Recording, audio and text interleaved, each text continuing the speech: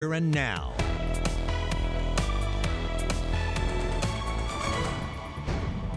Flipping the switch, the province moves to split up Nalcor. The housing market overall is very stable. And if you're a first time buyer, the province has money for you. Caught clues up tonight. Will there be a second season? We're working on it, but uh, there's no official green light, but there's definitely a plan. Boy, oh boy, a terrific Tuesday shaping up across the province. Lots of sunshine. I'll let you know how warm it's going to get coming up. Our top story tonight there's a shakeup coming for Nalcor and some relief for taxpayers. Tuesday is budget day in this province, and some of the details are already filtering out. Here now, Terry Roberts joins us live from our newsroom. So, Terry, first of all, what's happening with Nalcor? Yeah, Carolyn. Well, we all know that uh, Nalcor Energy was created just over a decade ago by former Tory Premier Danny Williams. He made this uh, uh, entity to manage the province's energy resources. Well, now it looks like Nalcor will soon be managing one less line of business. Sources are telling us the Liberals plan to separate the oil and gas division from Nalcor, effectively creating a standalone entity for this profitable operation.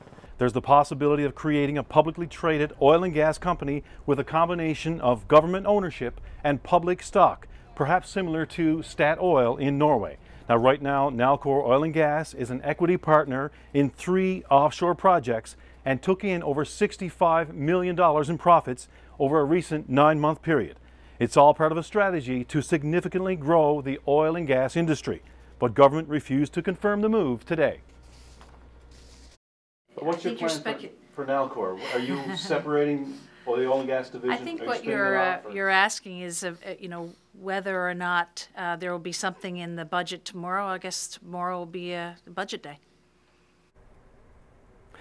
Now, sources are telling us that uh, breaking oil and gas off from Nalcor uh, will also give the, uh, that division some distance from the uh, financially disastrous Muskrat Falls project, which of course is years behind schedule and uh, billions over budget. Now, I also asked Siobhan Coady today if the province plans to sell any of its equity stakes in any of these offshore oil projects in order to generate an infusion of cash.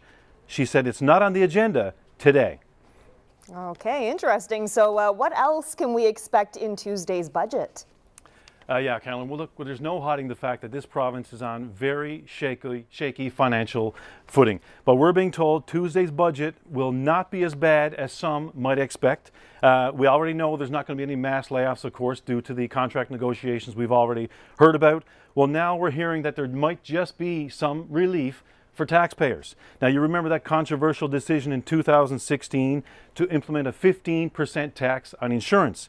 Well, we don't know all the details, but I expect some changes on that front and perhaps in a positive light.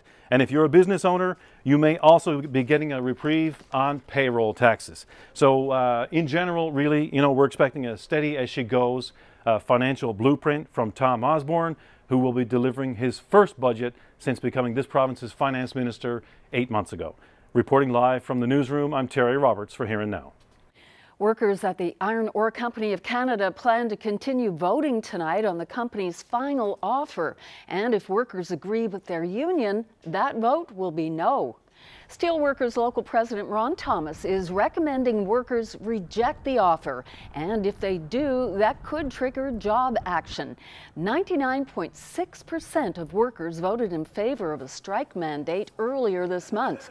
Talks between IOC and the United Steelworkers broke down when the company hoped to introduce a two-tiered pension system in which new employees would get one-third of the pension value. The company also wants to change how sick leave is managed. This is some of what IOC says it's offering an average 2.4% wage increase every year for five years of the agreement, increased contributions to the defined contribution part of the pension plan, reduce the number of temporary workers from 12.5 to 6% of the workforce, but continue to use them. Workers will be voting on the new offer until midnight tonight. A St. John's woman says the military mishandled her case after she reported that she had been sexually assaulted by two of her fellow reservists. Courtney Dunn says the assault happened after she agreed to, to go to a party at a St. John's hotel room. The Department of National Defense says she did make a complaint in 2012, but says it didn't investigate the incident because it happened off base. The first incident was rape. I was 16 years old and I was raped in the military by two guys at the same time. The military handled the situation completely inappropriately. Um, after I had reported that I was assaulted, the guy, one of the guys actually, was on my course. And he slept across the hall from me, not even 10 feet away from my bed for two weeks after it happened until I was medically released from the course. What was it like having him there? Terrifying, I didn't sleep. I still have nightmares about it. I I have been diagnosed with PTSD, which is post traumatic stress stress disorder. Has anyone ever been charged? No. I have. So when you say you have, how do you what do you mean?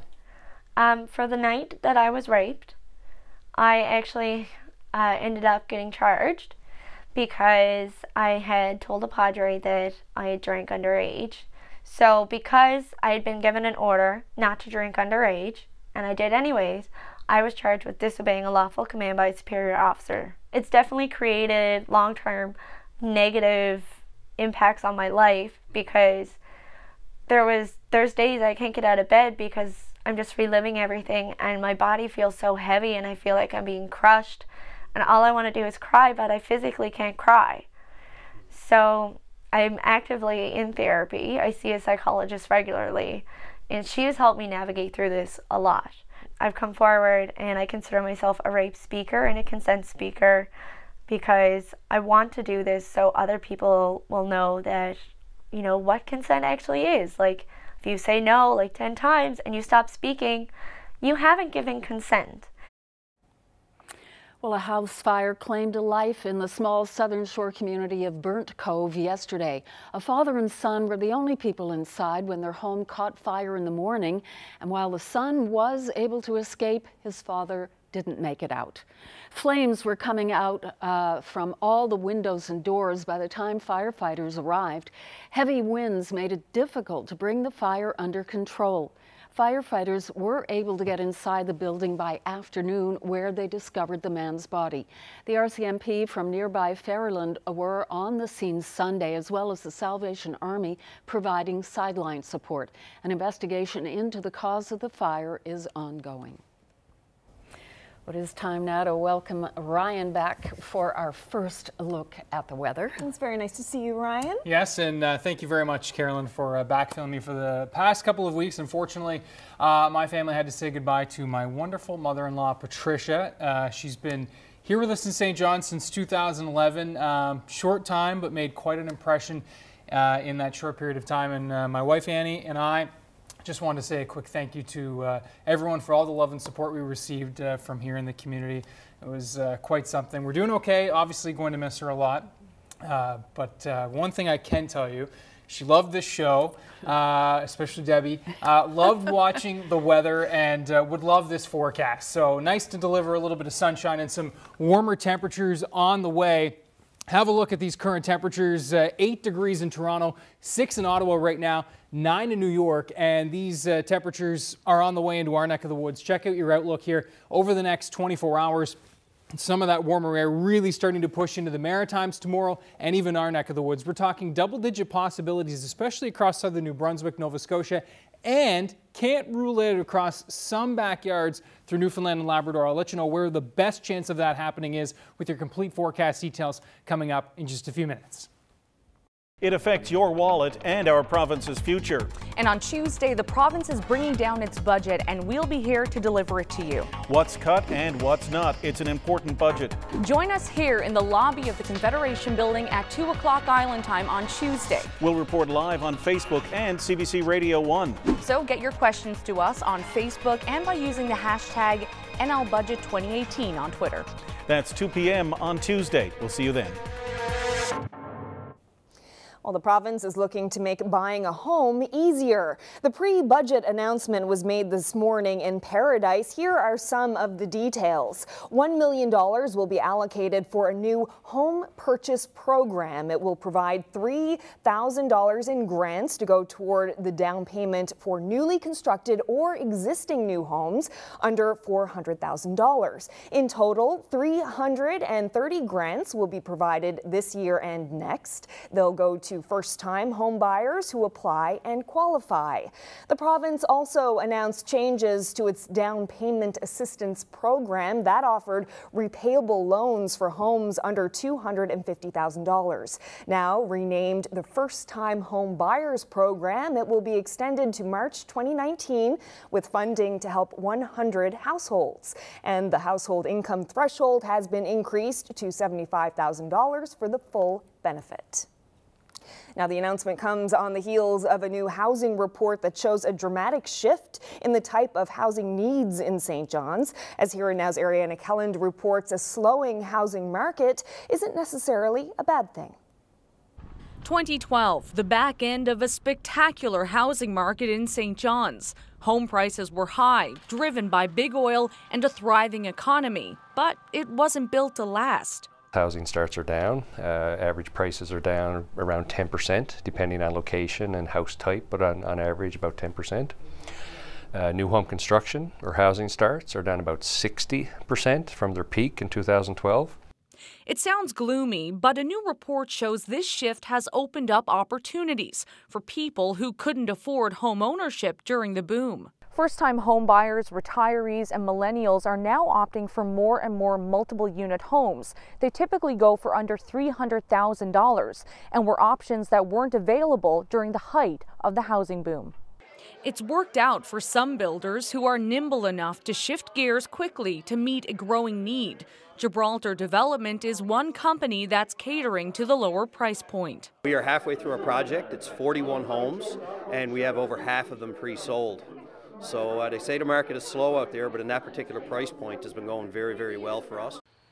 But not all builders have seen the same success. It's a little bit more difficult sometimes for uh, a small builder or a, a, a, developer that have lots or infrastructure already in the ground to be able to change uh, and adapt quicker.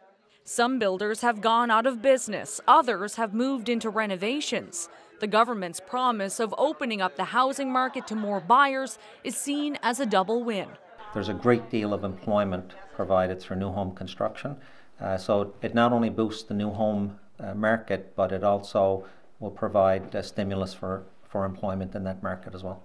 And builders are already taking advantage, with Gibraltar Homes saying this afternoon that it will match the government's $3,000 new home program grant, making the best of a market that doesn't appear to be moving anytime soon. Ariana Kelland, CBC News, Mount Pearl. She's long been a champion in the hearts of many Canadians. Now, Kaitlyn Osmond has a world championship under her belt. She'll have even more to celebrate with her family, friends, and fans here at home next month. Osmond, of course, won the World Figure Skating Championships in Italy Friday night. This is it, the moment 22-year-old Kaitlyn Osmond finished her World Championship winning performance.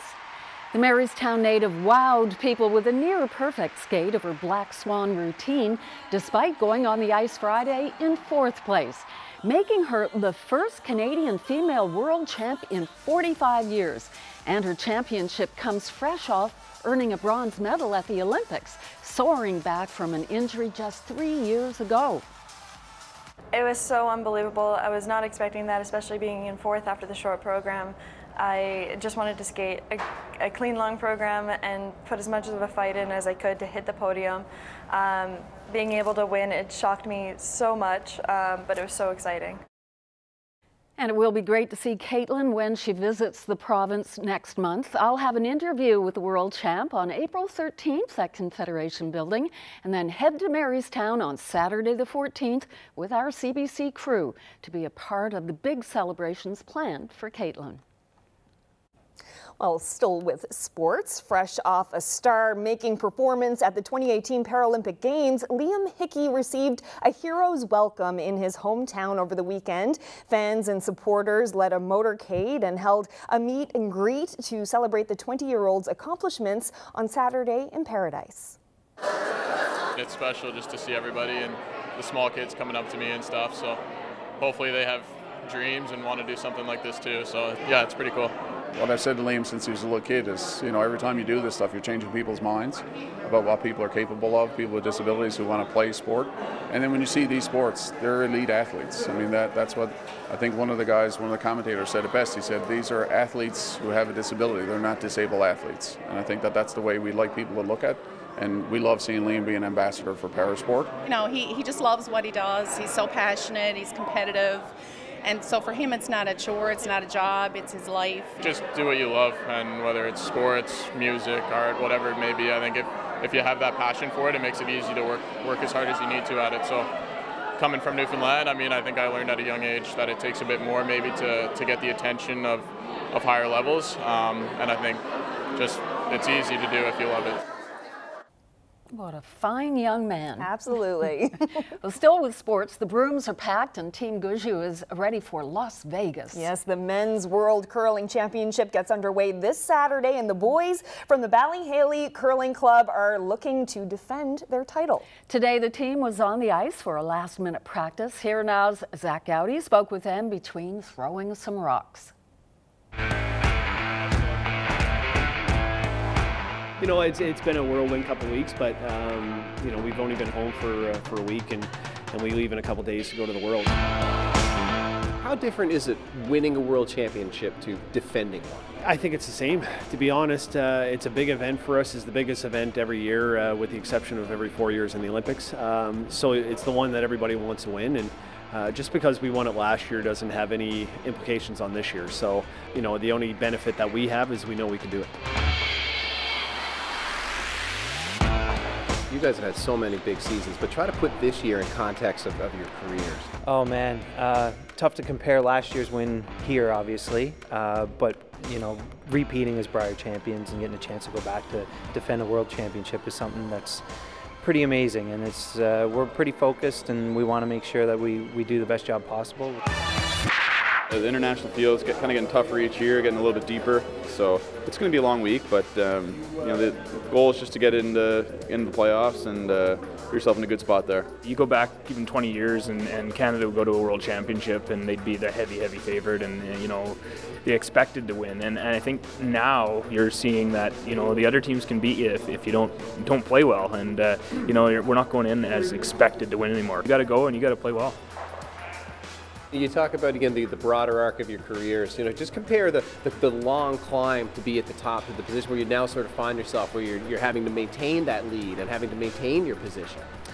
Well, I think we have a little bit of experience because when we won back in 2006, we were at the peak and, and we didn't stay there very long. So I, I think that we learned from that and, and learned what we had to do uh, to, to stay up there. Uh, so this time around, I think we're better prepared. I think obviously uh, we're a little bit older, more mature. I think we have a you know a more complete team as well. Um, so it's made it a little bit easier to stay at the top, but it's fun. It's fun playing well. It's uh, you know the performance we had at the Brier was was a lot of fun to be a part of and, and pretty special. So hopefully we can replicate that in, in Las Vegas next week. Carolyn, wouldn't it be great for them to cap off the season with a world championship? Oh, it would. So much success in sports. Mm -hmm. Good luck. Sad, sad news. It, it's disappointing for sure, but um, in many ways, not entirely unexpected. More reaction to the drop in cod stocks.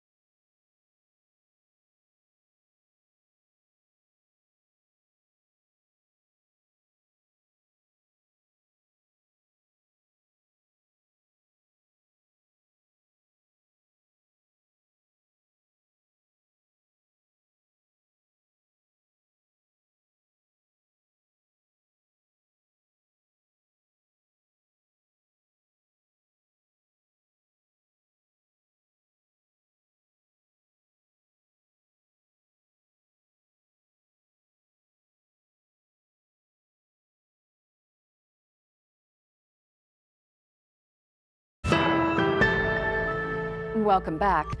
The cod fishery has suffered another blow with the release of the latest stock survey showing a population decline of 30%.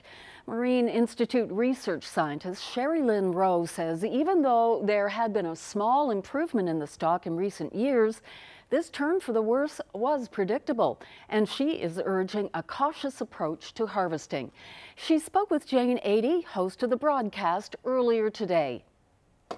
It's really sad sad news. It, it's disappointing for sure, but um, in many ways, not entirely unexpected. I'm certainly of the opinion that we ramped this fishery up too too quickly. Um, I would have preferred to have seen uh, a management plan for 2017 and, and also 2016 to a to a lesser extent that allowed more room for continued stock growth and, and maybe didn't take quite the risky chances that we did this past time around. Last year, we, uh, we published a paper in the, uh, in the scientific journal Nature um, urging the Canadian government to proceed carefully um, it, with respect to the northern cod fishery. We cautioned them not to ramp up fishing pressure too quickly because we were concerned that uh, it would in fact derail the recovery.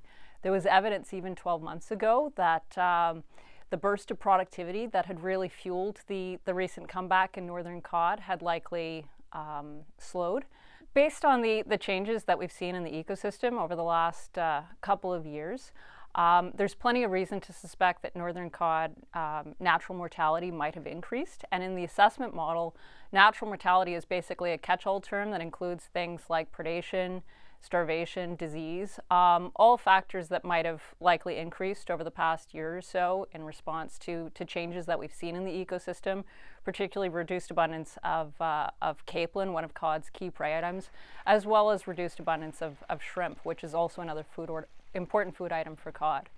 Um, so, you know, to a, to a large extent, seeing a, a large increase in natural mortality at this time um, was entirely to be expected. The changes that we've seen in, in capelin abundance in particular have likely had a, a negative impact on cod, but uh, at the recent assessment meeting, and as we've heard many times in the past, um, a lot of harvesters are asking about potential impacts of things like, like seals. This is a stock that's, that's well within the critical zo zone. It's uh, beneath what we call the, the limit reference point, and it's well below historical um, normal levels of abundance, typically what we'd see in the 1980s as an example.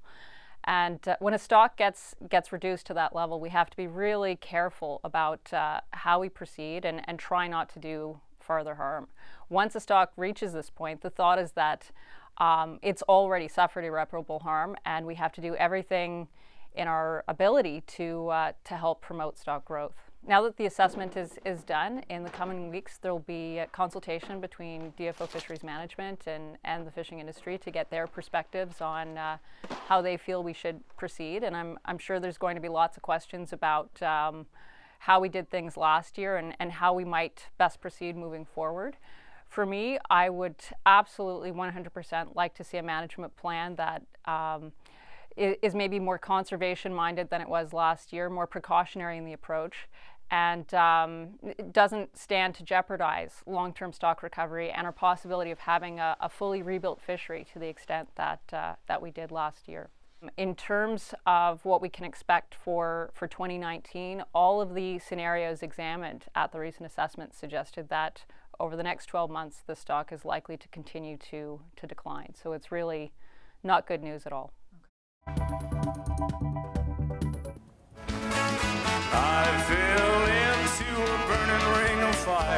He might not look like Johnny Cash, but he certainly sounds like Johnny Cash. The story of this local music musical impressionist is next.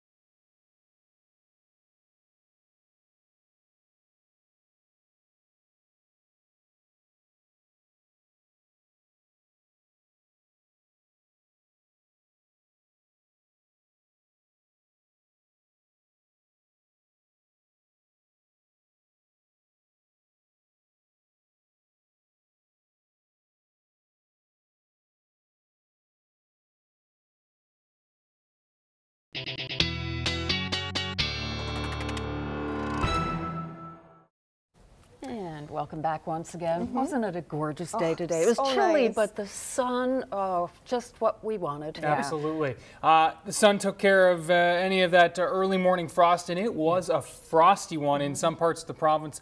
Minus 27 in Badger this morning. Oh my. Up to plus three this afternoon. That's a huge uh, temperature contrast. Obviously, the spring sun helps this time of year. Wanted to share this picture to start things off. That is half of a snowflake sitting on a car vehicle just before the sun rose this morning and, of course, took care of that uh, good and proper. Now, that picture, uh, I want to make sure that I do give a shout out uh, to uh, whoever posted that on my Facebook page, and I've got it here. Uh, it is uh, Vardy Gidge, and thanks very much, Vardy, for sharing that wonderful picture with us this evening.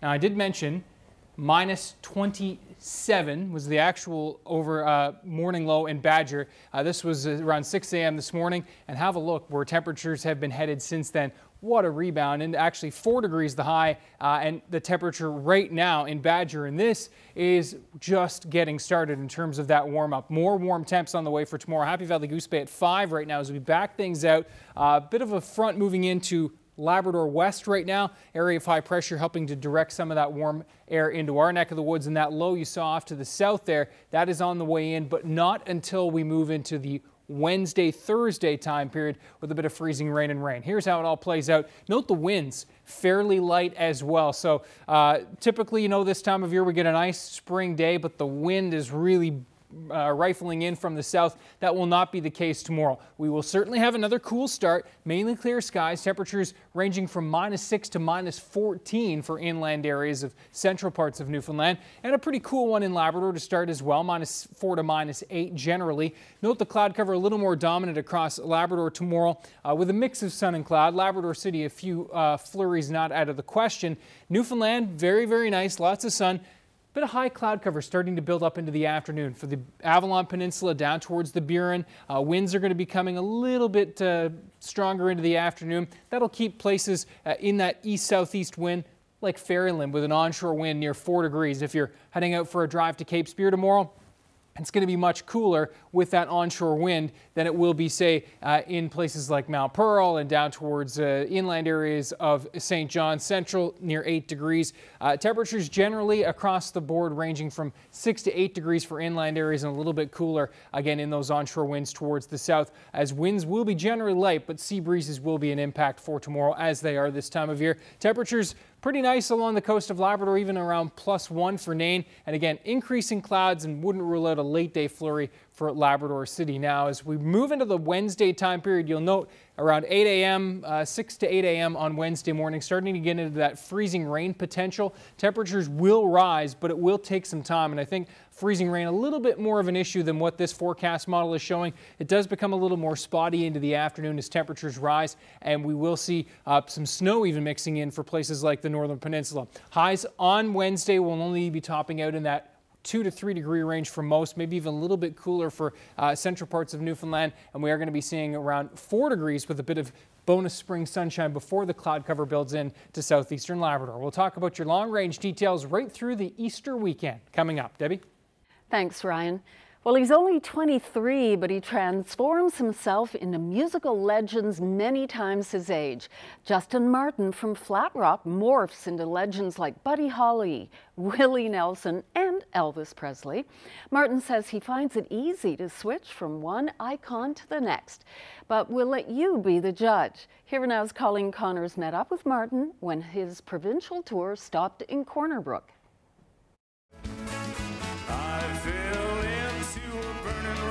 fire. Oh, I went down, down, down, and the flames went higher. Anything you want, you got it. Anything you need, you got it. Why can't I free your doubt from mine and melt your cold, cold heart?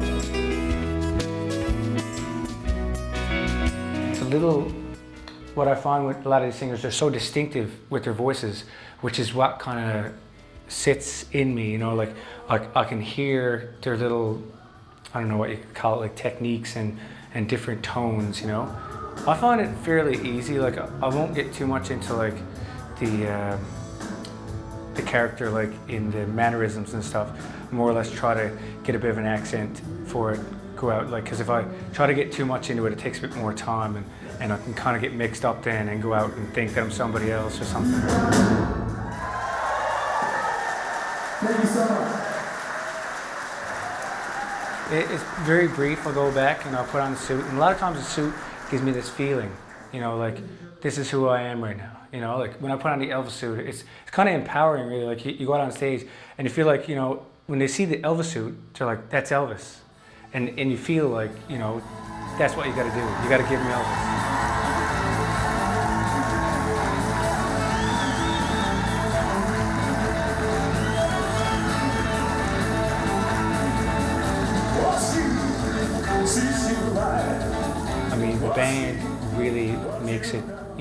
Makes it easy for me to do that because once they hit that, if whatever sound they hit, it's always perfect. Like it's just like the record, and, and it puts me right into that mindset.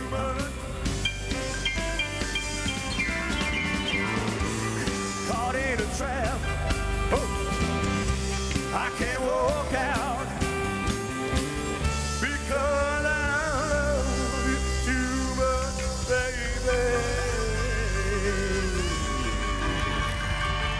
Thank you. Thank you very much. Thank you. Hope you enjoy your night now. Thank you. It's really good. He is excellent. And- And Justin Martin is on stage in Carbonear tonight and uh, Labrador City on Friday night. Allan Hawco is here talking about the season finale of Caught. Stay with us.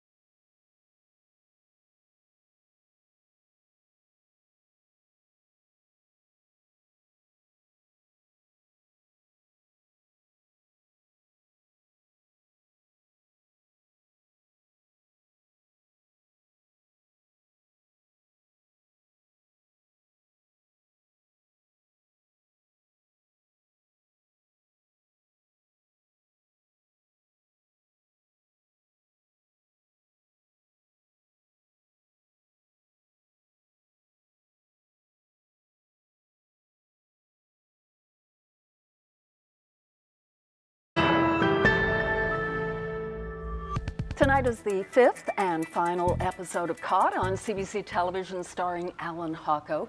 The drama is based on the novel of the same name by award winning Newfoundland author Lisa Moore. The series follows Hawco's character who's looking for revenge after a drug deal gone wrong. He spent five years in jail while his partner went free. Caught is set in the 1970s, complete with long hair, a period soundtrack, and lighting, and a whole lot of cigarette smoking. And Allan Hawco is joining me now. So nice to uh, to have you here. It's that's lovely to be here with you always, always. Okay, a lot of tension built up over the previous four shows. What can we expect tonight? Well, uh, the the whole mission of, of this show for me was uh, I saw from the very beginning that I thought this could be a long running show. So the first the first season's five episodes, uh, and and a lot gets resolved tonight, but there's um, there's a lot of unexpected things that happen. I don't know how to kind of tease it up, but. So, are you saying you know there's a second season at this point? Has that been given the green light? No, I wish I could say that. Uh, I wish I had that power to do it. It is greenlit. To, no, uh, but everyone's excited. Mhm. Uh, uh, CBC has been uh, insanely supportive right from the get-go with the whole marketing plan, like how cool the posters are and how the, their social media campaign, um, everything. Um, we're excited about it, and uh, we're working on it. But uh, there's no official green light. But there's definitely a plan. Mm. Yeah. This has been well received. Uh, the reviews have been uh, very favorable. I was reading one critic who said, You put aside Jake Doyle's cockiness and play a convincing and vulnerable ex con. Uh, how hard did you have to work at it to leave Jake Doyle behind? It's always challenging, you know, when you play any character for any extended period of time, to not let those uh, mannerisms seep in. And Jake and I became very, uh, very in, in one on one. The fantasy line was blurred, was it? Well, physically and uh, the hair, I don't know. Yeah. Uh, but so I worked real hard to make sure, and I do with every part. When Republic of Doyle ended, I did a bunch of movies and I did a lot of things, and I went right back to school as an actor to kind of retrain myself to. Really? Yeah, it was a lot. Uh, I worked with people, with coaches, and I just wanted to make sure that I wasn't a one-trick pony when I had never been a one-trick pony before Republic of Doyle. But I wanted to be better. Like we never, we never can stop trying to be better. So I continue. That's my mission forever. You are still working on Frontier. I understand you were in the UK to Yep. put some finishing touches. Is that the end of shooting uh, for you yep, on that? we're officially wrapped season 3 Mhm. So I didn't shoot in the UK. I shot in Ottawa, but I went to the UK. There was like a splinter. We call it a rogue unit, which uh, with a select amount of our crew, and uh, a bunch of Jason Momoa stuff. And I was there as producer to lend a hand. So I know you seem to be constantly uh, in high gear. Anything you can tell us about coming up? we're developing another season of Caught, so that's that's a real thing. And uh, Perry Chafe and I started working on that with one of our other writers, John Krizanc, who started, you know, uh, adapting the show with me from the get-go. And I've managed to convince Adriana Maggs to come back and Julia Cohen, so the whole team for the first season. We're going to assemble as soon as everybody gets a bit of time, and start working on that. And take the shot as always, constantly trying to keep making shows. So That's there's a- your production company. That's right. Yeah. Yeah. Yeah. Well, we will look forward to the uh, season finale tonight and whatever else comes your way. Thank you, Debbie. Thank you for having me on tonight. Thank you. CBC Feed NL presents tasty tunes with local musicians and chefs, a songwriter circle, and small plates in support of the Community Food Sharing Association. Visit cbc.ca/nl for all the deets.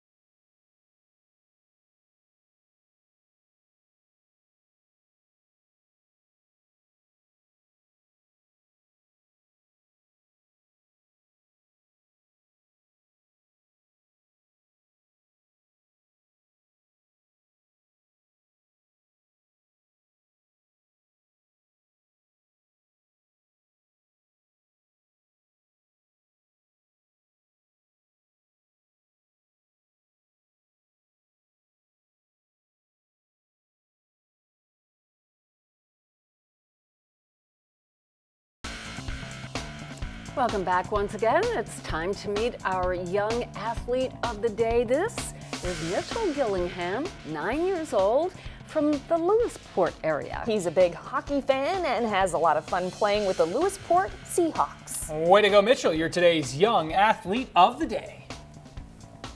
The weather update is brought to you by Beltone Hearing Service St. John's, helping the world hear better.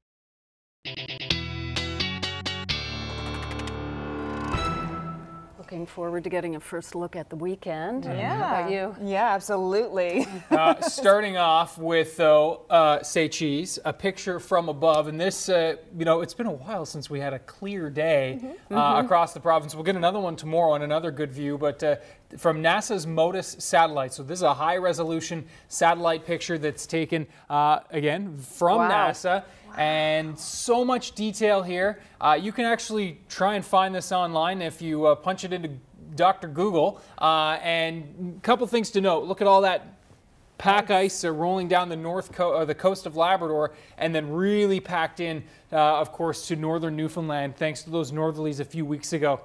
A couple other noticeable features here. Note the snow cover, widespread for most of Newfoundland, but note the, the very southern part of the Burin Peninsula and the southern Avalon now becoming uh, almost snow free. So uh, a little bit of progress here over the last uh, couple of weeks as uh, spring tries to uh, move into Newfoundland and Labrador. The satellite uh, picture in terms of the weather, you can see where this is a feature that's rolling into Labrador right now. Increasing cloud cover, a couple of flurries possible with that tonight through tomorrow, but overall it's just dominant clouds. We've got this area of high pressure in firm control for now. This low brewing off to the south is uh, eventually going to break things down here, and we're going to be seeing that rain spread in and a little bit of freezing rain uh, mixing in with that as well. So we're going to keep an eye on the timing of this one. Uh, note as we roll through tomorrow, high pressure in firm control, and that high uh, cloud cover will start to build in into the afternoon. You'll see those high cirrus clouds first, and then uh, slowly but surely that cloud will uh, sink closer to the surface as we roll through Tuesday night and into Wednesday. It looks like the arrival time will be Wednesday morning, and with temperatures near freezing, I am expecting that some freezing rain may be an issue for the drive to work on Wednesday morning, and then lingering even into the afternoon for places like central Newfoundland, uh, western parts of Newfoundland. Uh, the northern peninsula will see likely a wet snow mix, while the rest of the island will warm up and see just showers for Tuesday, uh, Wednesday afternoon and Wednesday evening rather. Labrador stays pretty quiet and then gets into some snow potential for Wednesday night into Thursday. A uh, few wet flurries mixing back in for western Newfoundland on Thursday, but I think Thursday's forecast for central and eastern Newfoundland is generally some showers. Now, the all important weekend forecast, and a lot of folks traveling. And as we look at that Thursday forecast, there are those shower chances, central and west. It looks like a bit of a break for early Friday, Good Friday into Saturday. Uh, keeping an eye on a possible system, but uh, forecast models kind of back and forth on that. But we do have a secondary low that looks like it will work in later Saturday and into Sunday. And that looks like it'll have rain, possibly some uh, accumulating snow for western and, uh, and uh, the northern peninsula, and then, of course, southeastern parts of Labrador. I will say that even for a Monday forecast, still some considerable uncertainty with this, this weekend setup and exactly the timing of those lows. So you're going to want to stay tuned. Definitely better agreement in the setup that tomorrow's a beauty. A bit of mixing over to some rain showers for Wednesday and into Thursday. And then Friday looks like a pretty good day. And then keeping an eye again on that Saturday, Sunday timing in that system. But warm temps, uh, mild, let's say mild temps for this time of year. Certainly in the 6, 7, 8 degree range for the east as we roll through the Friday, Saturday, Sunday uh, time period. Uh, for Labrador, again, pretty mild, uh, certainly for Tuesday. And then temperatures back closer to the seasonal mark. And we are watching the potential for some snow for the weekend uh, for you folks in uh, eastern Labrador as well. That's your forecast to now. Debbie. Thanks, Ryan. In national and international news, the federal government is moving to make it easier for family doctors to treat opioid addiction by cutting red tape. Health Minister Ginette Petitpas Taylor introduced the changes today in Ottawa. We know way too many parents, sisters, brothers, daughters, sons, or loved ones have died because of opioids. Just in 2016, there were over 2,900 deaths. Taylor is loosening restrictions on who can prescribe methadone and similar drugs. The changes will make prescription heroin available for the very first time outside of hospital settings. The hope is that will encourage community-based treatment where it's most needed. Well, shopping malls across Russia were ordered to conduct urgent safety checks today in the wake of that horrific mall fire in Siberia. At least 64 people died, many of them children, when smoke and flames suddenly engulfed the entertainment complex in the city of Kemerovo. Investigators say the building was rife with safety violations and they've detained four people for questioning. As Chris Brown reports, many of the victims never stood a chance. Well, the city of Kemerovo, in fact, all of Russia is really grieving today over the tragedy that's unfolded at the Winter Cherry Mall outside of the uh, of the stricken facility. Lots of flowers, lots of people coming, just really to uh, try to absorb the enormity of the uh, scores of people who died inside and, and some of the stories and images that uh, we've seen through social media um, in the last 24 hours. Investigators inside are leveling some pretty serious accusations. They're saying that a number of the exits were blocked, and in fact, that a security guard, for some unknown reason, uh, turned off the fire alarm. We don't know if it was turned off when it went or if it was turned off before any of this began, but um, they're definitely saying there were some very serious safety violations. We're learning a little bit more about some of the people that uh, we, have sort of come to know, if you will, by their actions. Um, some of the most dramatic video involved people trying to escape uh, from the mall. One was an 11-year-old boy who was seen uh, forced out a window, clinging to a windowsill four stories up with the flames all around him. Well, uh, he fell to the ground, hit an awning, uh, but we do know that he's still alive. He managed to survive that. His name is Sergei Moskalenko.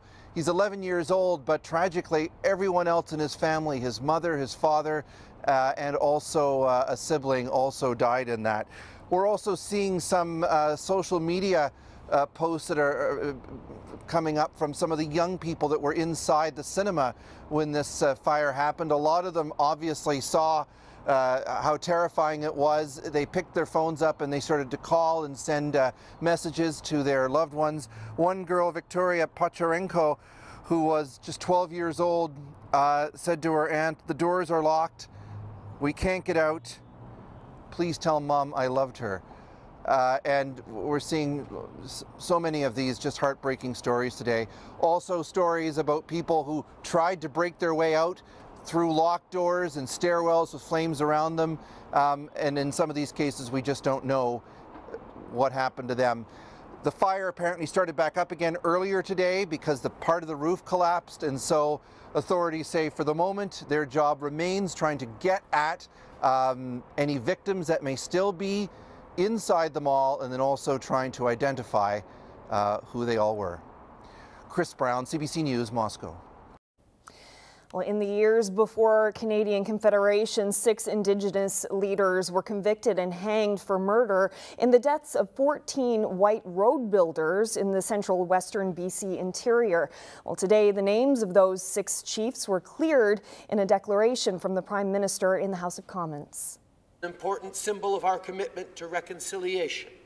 We confirm without reservation that Chief Klatasain Chief Biyil, Chief Telad, Chief Takot, Chief Chasus, and Chief Aun are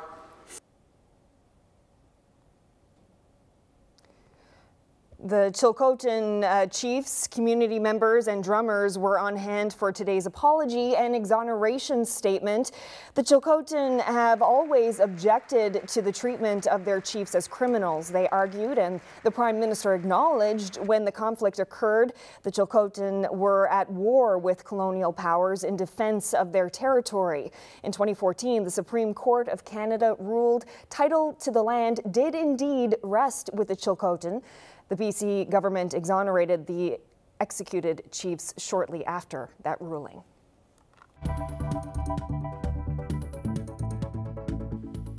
Our viewer picture of the day, a couple of uh, clues in here. One, the topography is uh, pretty unique, and this is uh, one of, if not the most beautiful spot uh, in the province, and a couple of clues on the maps too.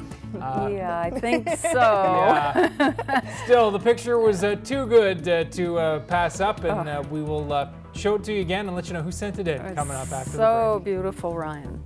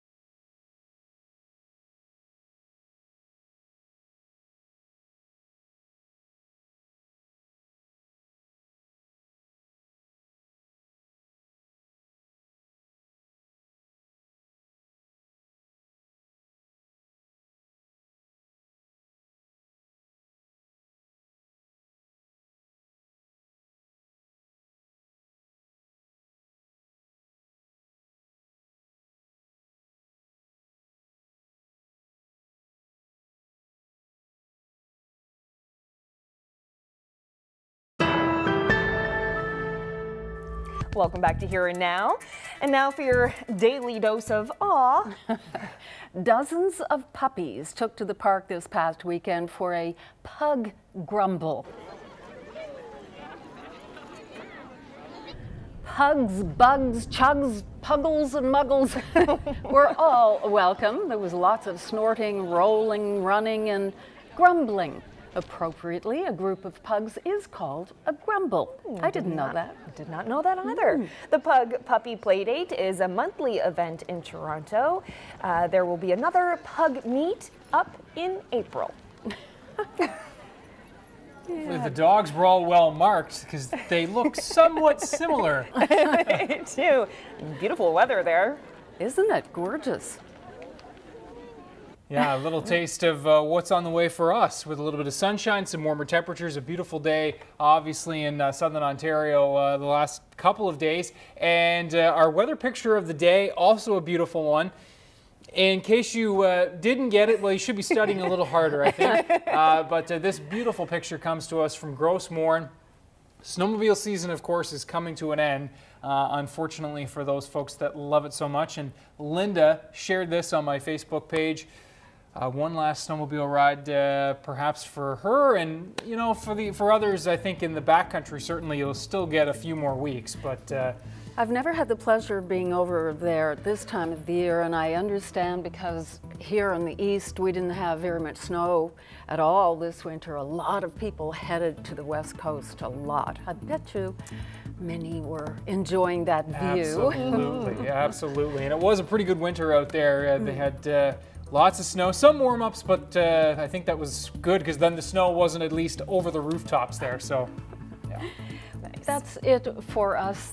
Nice to have you back, Ryan. Nice to be back. Thank you very much. And uh, Carol and I will be together for a couple of weeks. Anthony is taking a bit of R&R, and we'll see you tomorrow. Budget day. Yes. Good night. Good night.